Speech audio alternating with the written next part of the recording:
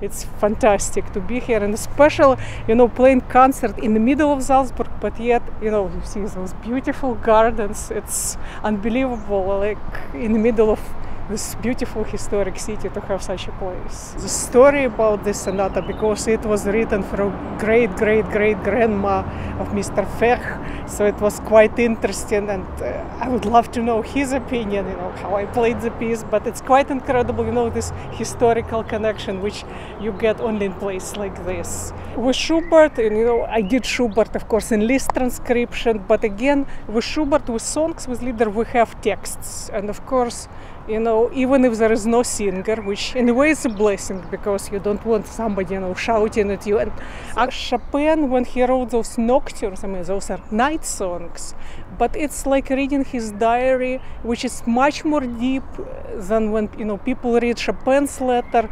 And if you just read his letters and you don't listen to his music, you think he was a vain, you know, annoying person. People add some stories to those nocturnes. But again, it's the same, same over same. It's love, death, eternity, you know, religion, whatever. So many important things for humanity. That's why we all love them.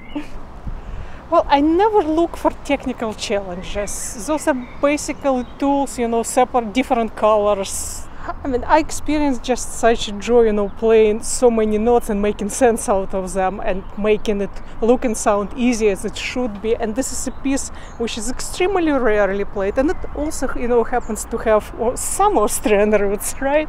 So I thought it would be fun to play it.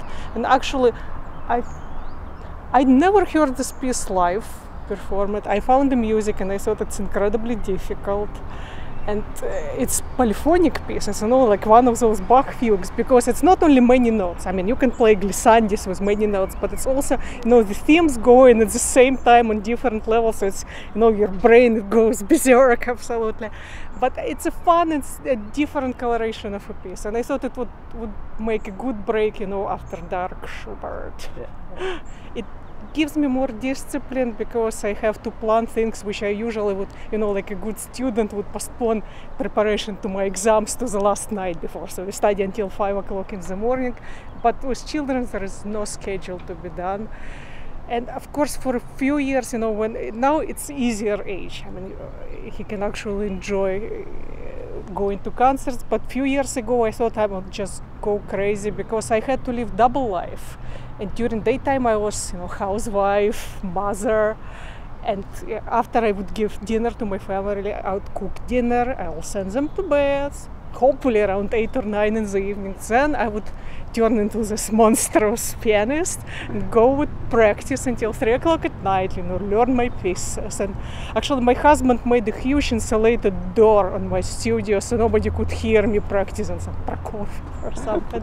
so then I would stay like that then at six o'clock the day would begin again, and I would go like that for a week, and waiting until the next concert to go, because then I would go to the concert and I would sleep. So there was no sightseeing or anything, just sleep deprivation or sleep.